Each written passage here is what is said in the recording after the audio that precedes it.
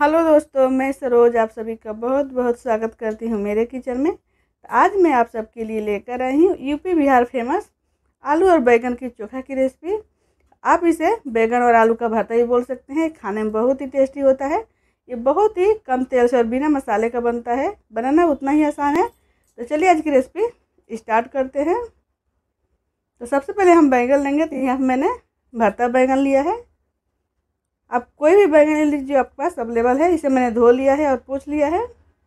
सबसे पहले हम बैगन में थोड़ी थोड़ी दूरी पर कट लगाएँगे। ये देखिए चार पाँच कट लगा लेंगे। कट लगाने के बाद इसमें डाल देंगे हम लहसुन की कलिया। सात से आठ मैंने लहसुन की कलियों को छील लिया है। इसमें डाल देंगे, जिससे हमारे साथ में लहसुन भी पक जाएगा बैगन के साथ। कच्चापन निकल जाएगा इसका।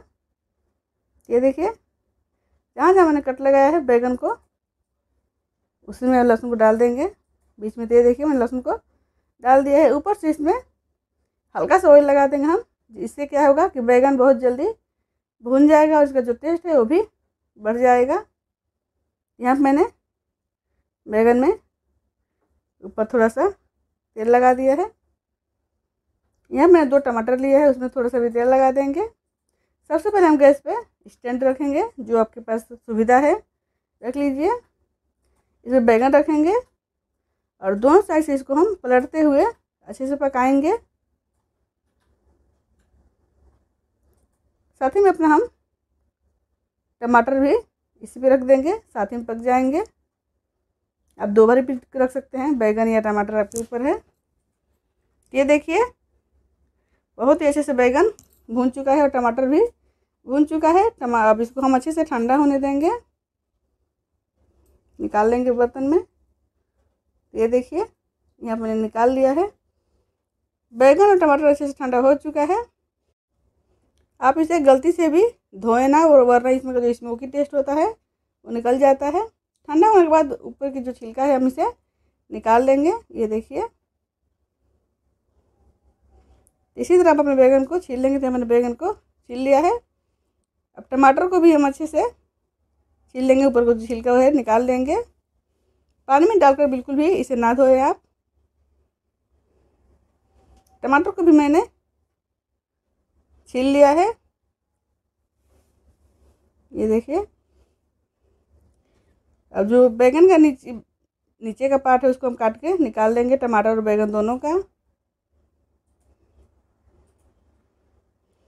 लहसुन को एक बार चेक कर लेंगे हम। देखिए, बहुत ही अच्छे से लहसुन पक चुका है। लहसुन को मैश कर लेंगे। अब बैगन को हम छोटे टुकड़े में कट कर लेंगे। अब इसको एक हम बाउल में ले लेंगे। यहीं पे डाल देंगे हम उबला हुआ आलू। यहाँ मैंने तीन आलू उबाल लिया है अभी, ताज़ा आलू है। अब फ्रिज में का आलू ना इस्तेमाल करें उबाला हुआ। अगर आप तुरंत ही आलू उबाल के डालेंगे, उसका जो टेस्ट है, बहुत ही बढ़िया आता है। अब आलू और बैंगन को अच्छे से हम मैश करेंगे। आलू अभी गर्म है तो इसलिए मैं हाथों से नहीं कर रही हूँ। हाथों से भी मैश कर सकते हैं, आपको ऊपर है। ये देखिए, आलू बैगन को मैंने अच्छे से मैश कर लिया है। बहुत ही अच्छे से मैश हो चुका है। इसमें डालेंगे बारीक कटा हुआ प्याज। बारीक कटी हुई हरी मिर्च अपने तीखे के हिसाब से ले लीजिए। बारीक कटा हुआ हरा धनिया। थोड़ा सा सरसों का तेल डाल देंगे। स्वाद के अनुसार नमक।